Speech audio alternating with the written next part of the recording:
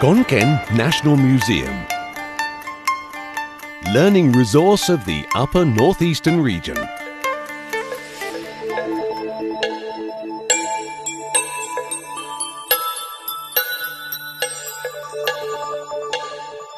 The northeastern region, or Isan, is a vast high plateau divided into two areas by the Pupan mountain range. Upper Isan, or what is called Sakon Nakhon Basin, and Lower Isan, or the Korat Basin.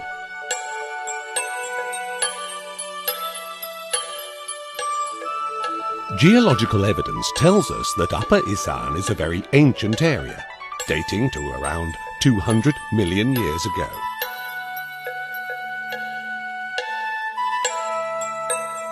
Fossils of dinosaur skeletons and footprints aged about 130 to 170 million years were found at sites such as Puyang of Khon Kaen province, Pufek, and Pukungkao of Kalasin province. Humans appeared in this area during the Mesolithic period or Middle Stone Age of some 10,000 years ago. They were nomads and sustained themselves by hunting. Their tools were chopping stone implements found on the Mekong bank of the Chiang Khan district, Loei province, and at Don Tan district, Nakhon Phanom province. The rugged stone tools from these sites developed up to the time of the New Stone Age into polished stone tools. Later, around 3,000 years ago, man began to use metals such as iron and bronze for making tools they no longer moved around and began growing crops, domesticating animals, weaving, and making pottery for use in daily life and funeral ceremonies. They also created paintings on the walls of caves and rock shelters, depicting rituals and beliefs. There are many important prehistoric sites in the Isan region, including Non Nok Ta and Non Muang archaeological sites in Khon Kaen, Ban Chiang site in Udon Thani, and Ban Sang Du site in Sakon Nakhon.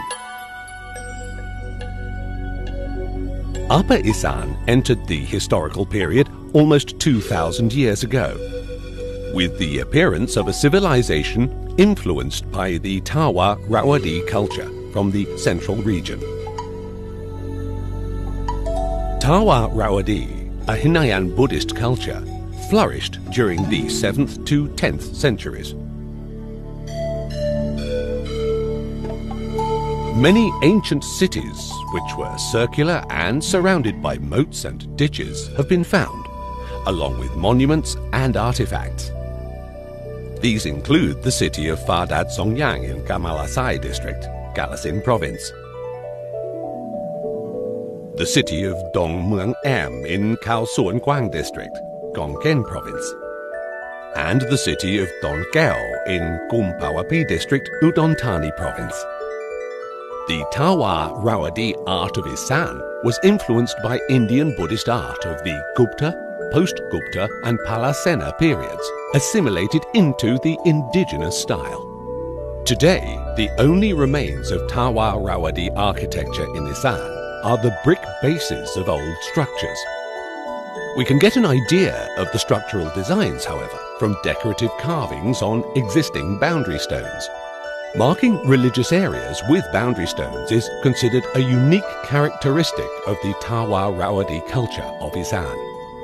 There were several accepted ways to place boundary stones, each with a different symbolism. Groups of stones or stones placed at the points of a compass delineated a sacred area. A stone standing alone usually depicts an image of worship or a stupa. Groups of boundary stones in the Tawa Rawadi style, mixed with the Khmer art style of the 11th century, were found at Wat Non Sila Art and Wat Pra Buddhapat Phuopan, Banpur district, Udon Thani. Tawa Rawadi baked clay votive tablets were generally found near the monuments, and the art styles were mostly inspired by those of the central region mixed with indigenous art. The most interesting votive tablets are from Nadun district, Maha Sarakham, and Mueang Fadat Songyang, Kalasin, and include embossed silver plates depicting Buddha images and religious symbols from the Umyaku ancient monument, Kantaravichai district, Maha Sarakham. Khmer influences began to appear from the 7th century, as evidenced by a stone inscription written in the Pallava alphabet in the Sanskrit language, found at Dongmuang Am, Khao Suan Kwang district, Khon Kaen, praising King Chittasen of Khmer Chenla Empire.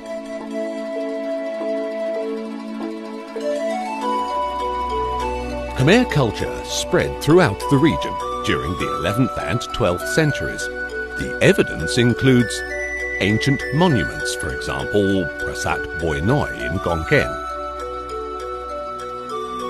sculptures of Vishnu from the sanctuaries of Gu Buamat and Gu Noi, Nadun district, Maha Sarakham, a stone inscription from Sala Nang Khao Sanctuary, Nadun district, Maha Sarakham, a lintel depicting the Hindu god Indra riding the elephant Erawan, from Prasat Ban Moi, Nong Song Hong District, Khon Kaen.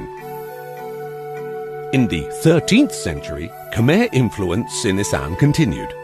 Several structures built by King Jayavarman VII have been found, including the Mahayan Buddhist Arokayasala, or ancient public hospitals, at Gu Prapachai Sanctuary, Nam Phong District, Khon Kaen, the sanctuaries of Gu Santarat and Gu Buamat, Nadun district, Maha Sarakham, and a stone inscription found at Gukeo Mueang district, describing the construction of the Arokayasala. Also found were objects used in ritual ceremonies, for example, Hindu god images, mirrors, bronze implements, and Lopburi style grey and brown glazed ceramics from the kilns at Ban Kruat district, Buriram. Khmer influence in Isan decreased with the fall of the Khmer Empire and completely vanished from the region in the 14th century. In 1527, King Poti Salarat of Luang Prabang, Laos, built the Satamaha Satan Shrine at Wat Pra Tat Bang Puan in today's Mueang district, Nong Khai province. King Chai Tatirat later moved the capital from Luang Prabang to Vientiane during the years 1550 to 1572 and conducted a major renovation of Pratat Bangpuan Shrine. In 1560, the rulers of the two kingdoms, King Chai Chetatirat of Langchang and King Mahachakrapat of Ayutthaya, built the stupa celebrating their pact of mutual respect and defense. King Wongsatam Mikharat of Laos, 1598 to 1622, commissioned many Buddha images lined in silver and gold to be contained inside the Pra Tat shrine. In 1695, after the death of King Suryawong Satamikarat, a riot broke out in Laos, sending many Laotians across the Mekong River to Isan Immigration continued to the beginning of the Bangkok period, the late 18th century, until Upper Isan became a densely populated area. Most Lanchang art was related to Buddhism and was similar to that of Isan. Artworks included stupas for relics of the Buddha, temples, Buddha footprints, pulpits, Buddhist scripture boxes, bronze Buddha images, Buddha images lined in silver and gold, and wooden Buddha images. In about the 19th century, the history of Khon Kaen province began. The name Khon Kaen might derive from Pra Pat Kam a stupa built over the dead heartwood of a tamarind tree. This stupa was regarded as a symbol of the province because of a legend which said that a relic of the Lord Buddha en route from Pratat Phnom in today's Nakhon Phanom province, stopped here. In 1767, King Rama I of Bangkok appointed Pia Muang Pen as the first governor of Khon Kaen. with the title of Prayasi Borirak. The city of Khon Kaen was established at the location of Ban Bungbon village and has been developed up to the present. The folk art of Isan includes structures such as temples, houses, pulpits, and so on. Textiles, including silk ikats and silk brocades, pottery, weaving and traps, musical instruments like the ken or largemouth organ of Lao origin, stringed instruments, drums, small cymbals, large cymbals, and motes or small mouth organs.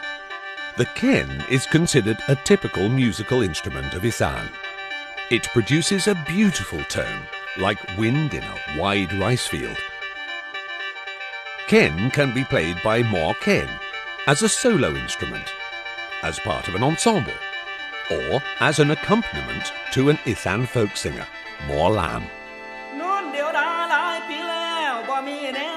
The Department of Fine Arts built the Khon Kaen National Museum in 1967 as a centre to collect, preserve, and exhibit art objects and antiques of the upper northeast region. His Majesty the King presided over the opening on December the 20th, 1972, and it has been open to the public since then. The exhibition features local accounts of Upper Isan regarding geography, history, archaeology, folk culture, and ethnology.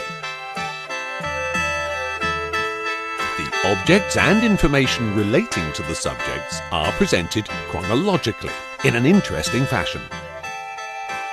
The Khon Kaen National Museum hopes the exhibition will be a resource for visitors to learn more about the cultural heritage of this part of Thailand and asks for cooperation in conserving it.